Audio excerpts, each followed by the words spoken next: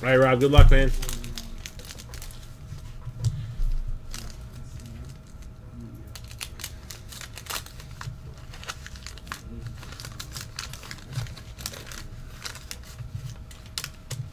There's your newest Hall of Famer, Ted Simmons. First card.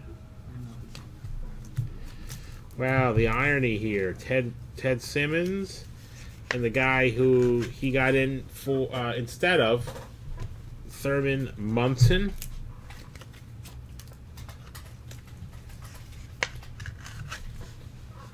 And then you got your puzzle checklist.